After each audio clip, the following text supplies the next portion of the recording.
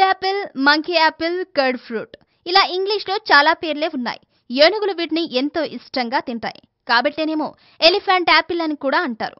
వినాయకుడికి ఎంతో ప్రీతిపాత్రమైన వెలక్కాయని కేవలం పూజాఫలంగా చూస్తామే తప్ప అమృత తుల్యమైన దాని ఔషధ గుణాల్ని అంతగా పట్టించుకోం.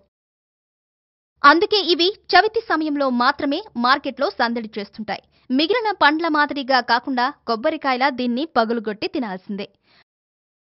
వెలగపండు గుజ్జు జీర్ణశక్తికి ఎంతో మంచిది. రక్తహీనత లేకుండా చేస్తుంది. గుజ్జుతో చేసిన జ్యూస్ను ముప్పై మిల్లీగ్రాములు తీసుకుని గోరువెచ్చని నీళ్ళలో కలిపి తాగితే రక్తశుద్ధికి మంచిది. ఆగకుండా ఎక్కిళ్ళు వచ్చినప్పుడు ఈ పండు జ్యూస్ తాగిస్తే తగ్గుతాయి. అలసట నీరసం ఆవహించినప్పుడు గుజ్జులో కాస్త బెల్లం కలిపి తింటే శక్తి వస్తుంది. మూత్రపిండాల సమస్యతో బాధపడే వాళ్ళకి తరచూ ఈ పండ్లు తినడం వల్ల ఆ సమస్యలు తగ్గుముఖం పడతాయి. రాళ్ళు కూడా తొలగిపోతాయి. బీటా కెరోటిన్ సమృద్ధిగా ఉండటం వల్ల కాలేయ సమస్యలను నివారిస్తుంది.